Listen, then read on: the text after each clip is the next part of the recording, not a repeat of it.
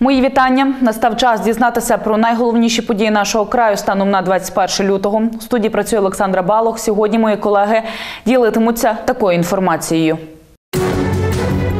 Черги на кордоні. Чому водії вантажівок по кілька діб стоять у кілометровому заторі? Актуальна проблема в Ужгороді обговорили питання мисливського браконьєрства у закарпатських лісах. В очікуванні ремонту, в яких умовах вчаться учні Квасівської школи. Рекреація в пріоритеті. На Тячівщині з'являється все більше відпочинкових зон. Президент Петро Порошенко підписав закон про особливості державної політики щодо забезпечення державного суверенітету України на тимчасово окупованих територіях в Донецькій та Луганській областях. Як відомо, 18 січня Верховна Рада ухвалила у другому читанні і в цілому законопроект про реінтеграцію Донбасу. Під час обговорення кілька разів наголошувалося, що цей документ визнає Росію агресором та окупантом. У самому тексті закону є дві згадки про Росію агресора у преамбулі і прикінцевих положеннях, а також одна згадка держава окупант. Дії Російської Федерації на території Донецької та Луганської областей у тексті закону названі збройною агресією Російської Федерації. Російська Федерація чинить злочин агресії проти України та здійснює тимчасову окупацію частини її території за допомогою збройних формувань Російської Федерації. Вказується у преамбулі. Згідно із текстом закону до тимчасово окупованих Росією територій у Донецькій та Луганській областях входять земля, річки, озера, внутрішні морські води, надра та повітряний простір над цими територіями. Межі окупованих територій у цих областях визначаються президентом за поданням Міністерства оборони, підготованим на основі пропозицій Генштабу збройних сил України. Наголошується, що тимчасова окупація Російської Федерації території України незалежно від її тривалості є незаконною і не створює для Російської Федерації жодних територіальних прав. Тим часом українські військові продовжують захищати країну на сході. За минулу добу ворог провів 15 прицільних обстрілів позицій сил АТО, унаслідок яких загинув один український військовослужбовець, ще п'ятеро зазнали поранень і двоє травмовані. Про це повідомляє прес-центр штабу АТО. На Луганському напрямку бойовики активізувалися довкола Троїцького. Неподалік Кримського та Світлодарська незаконні збройні формування застосували міномети та стрілецьку зброю.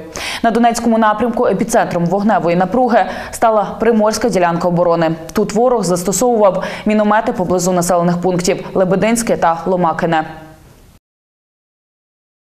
І у продовження теми Україна знову зазнала втрати. Сьогодні, 21 лютого, у результаті обстрілу з боку російських окупаційних військ на Донбасі загинула військовий медик Сабіна Галицька.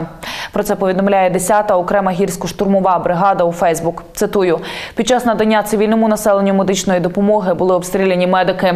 Загинула військовослужбовець, медик і людина з великим серцем Сабіна. Йдеться у повідомленні. Згодом стало відомо, що медсестрі було 23 роки, і в неї залишилася маленька дитина. Окрім того, під час обстрілу було поранено ще одного військовослужбовця. Далі ще про одну подію, яку я та мої колеги не могли оминути увагою в випуску інформаційної програми Час за 21 лютого. Сьогодні, 21 лютого, група осіб побувала у приймальні голови райради Тячівського району Івана Фабриція з вимогою скликати засідання районної ради та поставити на голосування проект рішення про недовіру чинному президенту України Петру Порошенку. Але яким чином це може зробити Тячівська районна рада, не зрозуміло. До так званих мітингувальників звернувся голова Тячівської ОТГ. Одна просьба така, як і була. Я хочу, бо в городі був спокій. Будьте добрі, не паліть дич, робіть тут дві церкви.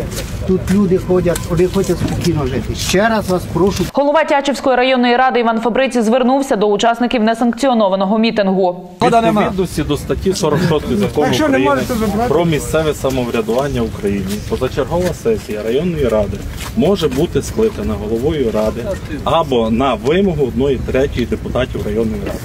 10 січня цього року позачергова сесія мною вже скликалася. Тому зараз є необхідність ініціювати від одної третьої депутатів про скликання позачергової сесії.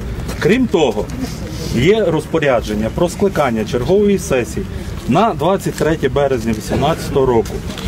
Тому питання, порушене вами, може розглядатися на сесії 23 березня, або якщо до Ради надійде звернення одної третьої частини депутатів, я відповідно до закону закону скличу позачергову сесію, який буде розглянути ваше питання. Іван Фабрицій заявив, якщо третина депутатів підпишуться про скликання сесії, тоді вона і буде скликана. Тим не менше, доводів здорового глузду не почули, шини запалили. Як розвиватимуть ці події далі, розкажемо у наступних випусках новин.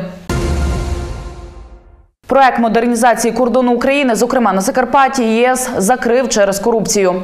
Програму розробили ще у 2014 році. Вона була спрямована на сприяння інтеграції української економіки з країнами своїх сусідів з ЄС шляхом будівництва чи модернізації контрольних пунктів на кордонах з Польщею, Угорщиною, Словаччиною та Румунією. Планувалося, що це допоможе скоротити час перетину кордону та удосконалить митні процедури. Наприкінці ж 2017 року жоден із шести проєктів контрольно-пропускних пунктів не був завершений. Хоча ЄС надавав фінансування на суму більше ніж 29 мільйонів євро. За інформацією Reuters, проект закрили після низки затримок, помилок та перевитрат за участю місцевих чиновників та підрядників. Агентство посилається на внутрішню кореспонденцію уряду України і листування між Європейською комісією та українською владою. Представник Євросоюзу заявив Reuters, далі цитата. Після нашої оцінки ми зробили висновок, що проекти не можуть бути завершені вчасно. Шість проєктів зараз готуються до закриття, а невикористані кошти повернуться. Тим часом у Державній фіскальній службі цю інформацію спростовують. А наразі про швидкий перетин кордону мріють власники вантажівок на контрольно-пропускному пункті Дяково Виноградівського району. Там виникли п'ятикілометрові черги з кількох сотень фур, через що водії змушені проводити у заторі по чотири доби. Та власне, коли зміниться тут ситуація, далі у сюжеті. Щоб перетнути україно-румунський кордон, деяким водіям треба було чекати 4 доби. Іншим залишається чекати приблизно стільки ж. А все через те, що від КПП Дякове черга сягає 5 кілометрів. Это уже в это, уже 12 часов. Ага, і як гадаєте, скільки ще стояти? А надо будет еще 4 дня. Це час прийшов, а будемо стояти до п'ятниці. Стопроцентно. Про причину таких затримок водії можуть лише здогадуватися. Кажуть, незрозуміло, які служби і котрої з країн працюють недостатньо оперативно. А я думав, що таможня не працює. Плохо працюють і румуни, і українці. Проблем ли украинской или румынской таможни, я не знаю. Этого никто не знает. Пан Слободан їздить через цей пропускний пункт вже протягом 34 років. Каже, що проблеми з чергами тут бувають часто. В свою чергу інші водії кажуть, що великі черги на пропусковому пункті Дякова помічають останні 5-6 місяців. Преди Новий год 98 часов я стояв у колеки. Тоже тут була машина, так перед магазином, і до кінця, доки не приїжджав там у Романію, 98 часов. То так начало, можно 3-4 месяца назад, что такое. Да. Раньше такого не было. Обурені водії кажуть, що ніде у Європі таких черг немає. Вже і не знають, чим зайнятися в дорозі. Сижу я тут с коллегой, это, тут болтаю тут. На дорогі ні туалета, ні води, ні, ніщо немає. І куди йти в туалет? Чотири дня. Первый раз тут а, уже четвертые сутки пошли. Уже нету терпения, если честно, ни туалета, ничего нету. Стоишь в колейке как, ну, как, как животное, если честно. Черга протяжністю 5 кілометрів доходить до села Ботар. Через десятки фур, які стоять на центральній вулиці, селянам іноді не просто заїхати у власні двори. Коли ж черги скоротяться, наразі невідомо. В Ужгороді презентували показники євроінтеграційного економічного поступу Закарпаття за 2014 і 2016 роки. Як Закарпаття торгує з країнами ЄС, як співпрацюють в галузі туристичного бізнесу та чи сприяє влада області в імплементації угоди згідно з постановою Кабміну. Дивіться далі. Закарпаття залишається серед лідерів в Україні за показником євроінтеграційного економічного розвитку. В загальному рейтингу України область посіла шосту сходинку, хоча й втратила три позиції порівняно з 2014-м. Про це говорять дослідження, що проводились за сприяння Європейського союзу. Позаяк Україна е, зараз імплементувала угоду з Європейським Союзом уже якийсь час. Е, Хотіли перевірити, як це все відбувається і реалізовується на місцях, але в доволі вузькому такому секторі економічна частина угоди з ЄС. В перших двох роках у нас якби завжди вища позиція. Далі відбувається хай на один-два пункти, але зниження відповідно воно вплинуло на загальну е, ситуацію в 2016-му. Але е, інша справа, що саме 2016 рік, типу, він таких е, має такі от характерні показники зниження для майже всіх регіонів України. Результати 2016 року здебільшого відображають економічну ситуацію в країні. Переконані фахівці. Саме ж дослідження складалось із двох блоків. В першому вивчали субіндекс торгівельно-економічних зв'язків. Тут Закарпаття має хороший рейтинг в частині експорту товарів до країн ЄС. Коефіцієнт зовнішнього обороту регіону, співробітництва у питаннях сільського та зеленого туризму. Найгірші ж показники були по кількості суб'єктів господарювання, яким надано право експорту харчової продукції е, тваринництва до країн ЄС. Е, Крім того, індекс інвестиційної відкритості регіону для ЄС. Я зараз поясню, що це мається на увазі. Е, Також не дуже хорошим був показник частка накопичених прямих інвестицій на резиденців з ЄС в області в загальному обсязі інвестицій області. Другий блок дослідження рівень підтримки євроінтеграційного поступу владою на місцях. Згідно постанови Кабінету міністрів на місцях, області мали створити плани заходів імплементації угоди з ЄС. Закарпатська область одна з тих, яка такий план заходів має, реалізовує та систематично звітує, запевняє координатор проекту. Однак основна мета дослідження не тільки дізнатись загальну картину, власне, знайти проблемні ділянки в роботі та виокремити шляхи вирішення. Для відновлення позитивної динаміки е, в нас є таке побажання, е, зауваження до голови Закарпатської ОДА ініціювати до опрацювання регіонального плану заходів з імплементації угоди про асоціації з урахуванням специфіки регіону. Е, Управлінню зовнішньоекономічних зв'язків, інвестицій та транскордонного співробітництва Закарпатської ОДА підготувати інформаційно-аналітичні матеріали стосовно розвитку напрямів торговельно-економічних відносин з ЄС. Оце те, що власне цікаво може бути для інвесторів. Дослідження проводилося за сприяння ЄС в рамках проекту Індекс євроінтеграційного економічного поступу, оцінка економічних реформ в регіонах України на шляху до впровадження зони вільної торгівлі з Європейським Союзом. Головою Конституційного суду обрали Станіслава Шевчука. Про це повідомляють у прес-службі суду. Кажуть, що новообраний голова Станіслав Шевчук, доктор юридичних наук, професор, член-кореспондент Національної академії правових наук України. 13 березня 2014 року він був призначений суддею Конституційного суду, а раніше був суддею Європейського суду з прав людини від України. Лісове господарство України необхідно реформувати. Про це заявили під час виїзного засідання комітету з питань аграрної політики та земельних відносин Верховної Ради України. До комітету входять народні депутати від Закарпаття Василь Петьовка та Валерій Лунченко. Під час засідання вказали, одна із найактуальніших проблем галузі відсутність затверджених стратегічних документів з її розвитку, що призвело до неефективного використання лісових ресурсів. Необхідно вносити зміни до правил продажу необробленої деревини, забезпечити прозорий та рівний доступ до сировини. Ще один із негативних факторів відсутність економічних стимулів для переробки деревини всередині країни, погіршення санітарного стану лісів, масове висихання та їхнє пошкодження шкідниками та хворобами.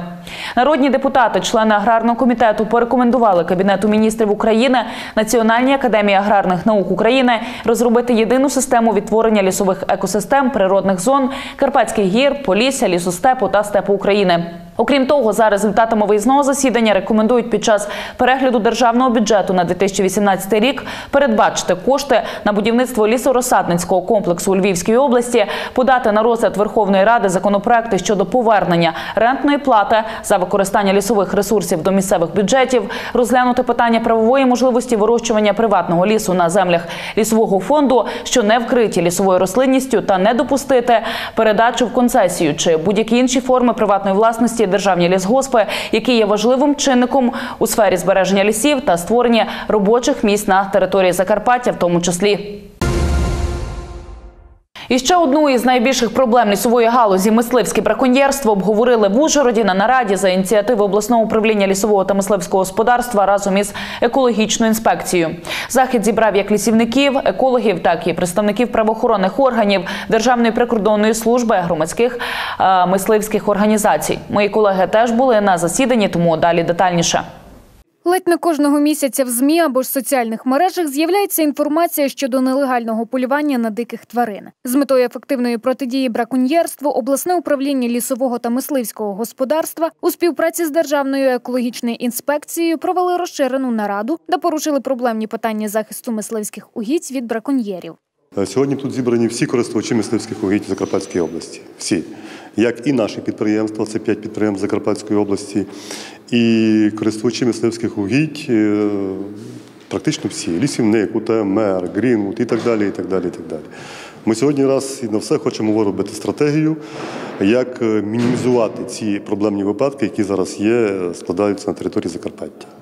Сьогодні загальна площа мисливських угідь на Закарпатті складає більше одного мільйона гектарів. Більшість площі надана в користування як державним, так і громадським мисливським господарствам. Як відзвітували під час наради, у минулому році було складено 35 протоколів порушення правил полювання. Основна їх частка припадає на Свалявське та Виноградівське господарства. В той же час гостро стоїть питання протидії браконьєрству вздовж державного кордону України. Це питання порушили представники екологічної інспекції. Є е, певні положення про прикордонний режим, і там, наскільки мені відомо, е, любе полювання у прикордонній смузі, а тим більше між е, е, ну, КСП і державним кордоном, там взагалі полювання заборонено. А якщо біля того проводиться, значить хто проводить полювання, має за 24 години повідомляти і так далі.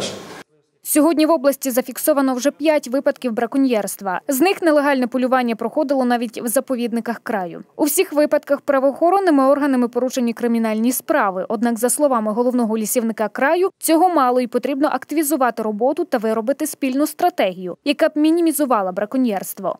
Сьогодні чітко буде вироблена стратегія і проведення рейдів, спільних рейдів, і е, чітко ще раз піднімаємо питання охорони мисливського фонду.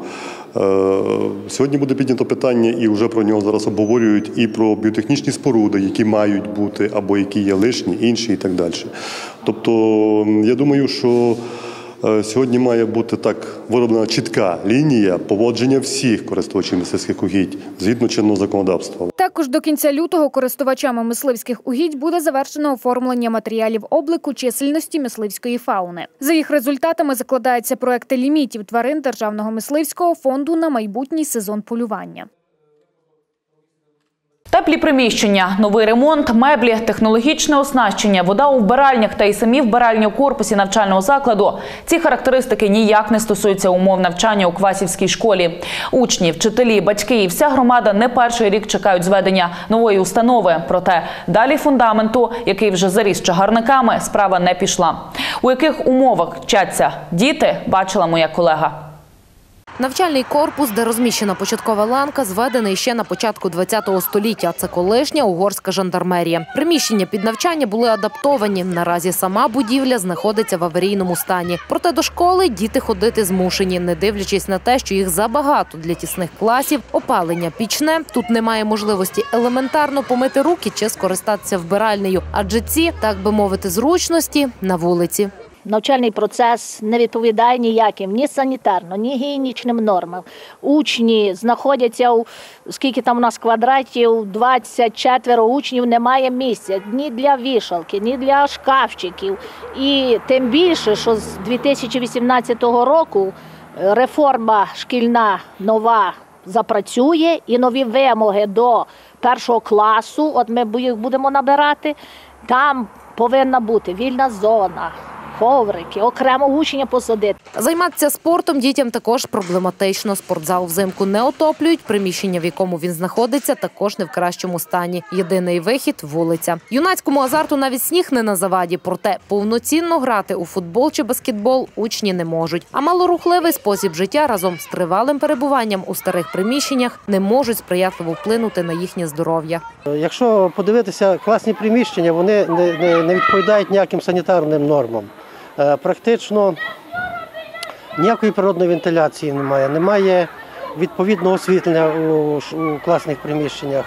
Е, При великих морозах не можна нагріти нормальний температурний режим, щоб був у школі. На сьогоднішній день перебувають біля 111 дітей на обліку е, у нашій лікарській амбулаторії. Це є проблема з зором, це є проблема з опорно-руховою системою.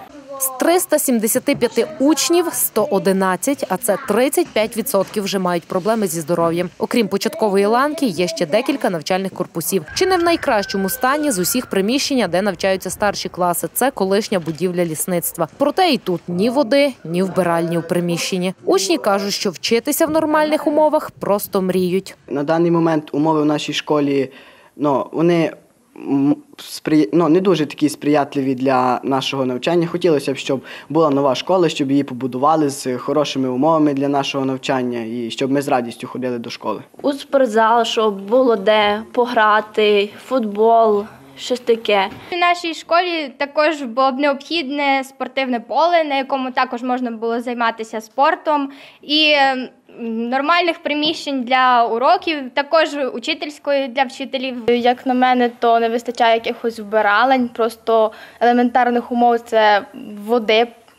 Тому що перед вживанням їжі ми не можемо навіть мити руки. Хотіли б з велику школу, де всі учні, щоб були разом, навчалися.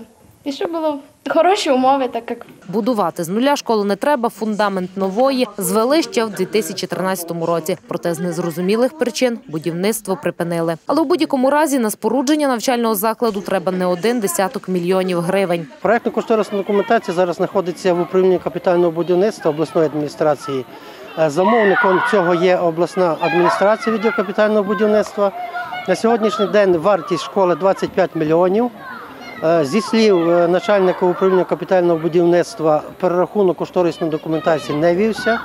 Я рахую, що якщо вони проведуть перерахунок, це буде близько, можливо, 50 мільйонів. Це, це будівництво школи. Та попри те, що діти не мають нормальних умов для навчання, щороку показують гарні результати на олімпіадах. Бо, хоча й сподіваються, що увагу на них звернуть, не вірять, що це станеться до того, як вони закінчать школу. На українсько-угорському кордоні спинили водія, котрий запакував у бокову стінку свого мерседеса 366 пачок сигарет.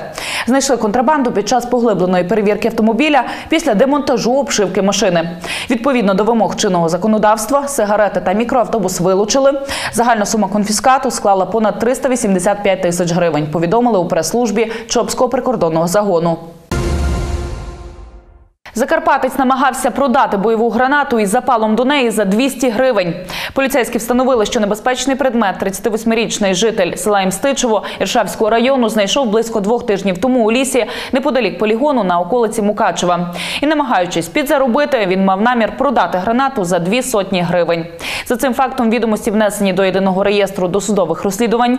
Підозрюваному вже судимому раніше чоловіку загрожує покарання у вигляді позбавлення волі на строк від 2 до 5 років. Укрзалізниця призупинила продаж квитків на дати після 25 березня у зв'язку із коригуванням графіка руху поїздів. Про це повідомляється на офіційному сайті підприємства. Там нагадують, що цьогоріч переведення годинника на літній час відбудеться у ніч із суботи на неділю, 25 березня. Продаж квитків на деякі поїзди буде відкритий до кінця поточного тижня, інші наступного тижня. До слова, вже у квітні відбудеться перше у 2018 році планове підвищення цін на квитки для пасажирів Укрзалізниці на 10%. Диплом кваліфікованого робітника одночасно з двох професій слюсар з ремонту рухомого складу та монтер колії матимуть можливість отримати випускники 11 класів у державному профтехнічному навчальному закладі Мукачівський професійний аграрний ліцей імені Михайла Данканича. Це єдиний ДПТНЗ в області, який пропонує підготовку залізничників. Детальніше про нові професії та перспективи працевлаштування випускників Ірина Ковальчук.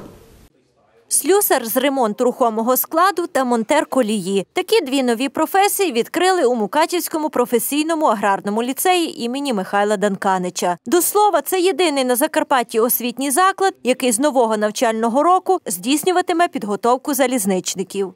Для цього ми повністю підготували матеріальну базу, заключені договори із е, Укрзалізницею і Ужгородським відділком залізниці. Ми маємо можливість забезпечити всіх проживанням, харчуванням, підручниками і всім необхідним для повноцінного навчання. Спеціально облаштований для нових професій кабінет, лабораторія та полігон для практичних занять вже підготовлені. Також підібрані кадри та розроблені навчальні програми. Одним словом, все готово для того, аби набрати першу групу майбутніх залізничників. Подбали і про перспективу працевлаштування. Ужгородська дирекція залізничних перевезень вітає ініціативу е, Мукачського ліцею. Фахівці, які будуть виходити з цього навчального закладу, будуть затребувані на ринку праці і сподіваємось на подальшу співпрацю між е, Львівською залізницею та Мукачівським ліцеєм. Учнів спеціальністю монтер колії ми можемо влаштувати, працевлаштувати в наших дистанціях колії. У нас їх є три в області. А випускників по спеціальності чи по професії слюсар з ремонту рухомого складу вони можуть бути працевлаштовані в наших депо моторвагонних, локомотивних і вагонних депо. Всі випускники будуть працевлаштовані, враховуючи сьогоднішню ситуацію з кадровим забезпеченням на залізниці. І ще би хотілося надіятися, що буде розширена база професій залізничних, які будуть готуватися в даному ліцеї. Прийом документів стартуватиме з 1 червня. Після співбесіди на конкурсній основі 30 учнів безкоштовно навчатимуться у ліцеї і вже за рік отримають диплом кваліфікованого робітника одразу за двома професіями. Хочу випускників 11 класів запросити до нас на навчання по слідуючим професіям: слюсар з ремонту рухомого складу, а також монтер колії. Ми маємо всі можливості для того, щоб з нашого ліцею вийшли висококваліфіковані робітники з даних професій. Рекреація в пріоритеті на Тячівщині з'являється усе більше відпочинкових зон та рекреаційних пунктів. Працює над їхнім створенням Тячівський лісгосп. Протягом ще цього року планують побудувати з десяток альтанок у місцях, які найчастіше відвідують відпочивальники. Більше про них розкажуть мої колеги. Цей рекреаційний пункт неподалік села Тарасівка побудували зовсім нещодавно. Зручне місце, яке і раніше місцеві та приїжджі використовували для відпочинку, зараз облагородили, встановили альтанку, мангал та навіть побудували біотуалет. Зараз може напевно не так привабливо взимку, але проїжджаючи багато зупиняються тут е, з родиною відпочивати, стають в альтанці посидіти. Встановили лісівники поруч і інформаційний стенд, аби відпочивальники більше дізнались про цю місцину. Побудували біля дороги і невелику криничку. Джерело е, тут е, тече із е, звора, в якому дуже чиста вода і дуже смачна вода. Любий охочий може зупинитися, щоб зручно було напитися води. Ми поставили, обгородили камінням, також дерев'яним дахом, щоб ну, ніяке сміття не попадало у саму криничку. Вода тут дуже смачна і, напевно, якась вона і цілюща. Взимку людей не так багато, але щойно зійде сніг, відпочивальників буде хоч відбавляй. Зупиняються тут і туристи, і місцеві грибарі. Над створенням таких рекреаційних пунктів нині активно працюють в Тячівському лісгоспі. На території е, всіх чотирьох лісництв є створені вже такі невеликі рекреаційні пункти. Е, Ще треба попрацювати над огорожею територій, так як е, щоб десь є у кого маленькі діти, щоб не не виходили на вулицю, щоб були під наглядом. Над тим нам ще треба трошки попрацювати. Ну і в плані у нас е, на цей на 18 рік також є створення 10 рекреаційних пунктів додатково. Тячівщина для туристів стає все більш приваблива. Є тут і унікальні печери та навіть своя власна долина нарцисів. Тож працювати над створенням відпочинкових зон лісівники будуть продовжувати і надалі. Мови це важливо. Саме такий вислів представники ЮНЕСКО обрали гаслом Міжнародного дня рідної мови. А його відзначають сьогодні, 21 лютого. Свято започаткували у листопаді 1999 року на 30-й сесії Генеральної конференції ЮНЕСКО у Парижі. Про підтримку мовного та культурного різноманіття та багатомовність звучало у заголовку документа. В Україні ж День рідної мови відзначають із 2002 року, коли для зміцнення державотворчої функції української мови та сприяння вільному розвитку та використанню інших мов національних меншин видали розпорядження про відзначення міжнародного дня рідної мови. Таким було останнє повідомлення на сьогодні. Що на вас чекає у часі четверга, дізнаєтеся далі. Сміттєва проблема у хусті, берег річки, гора відходів. Бокс на Закарпатті. На якому рівні цей вид спорту в області? На цьому сьогодні у мене все. Дякую, що залишаєтеся із нашим телеканалом. У студії працювала Олександра Балух. До нових зустрічей.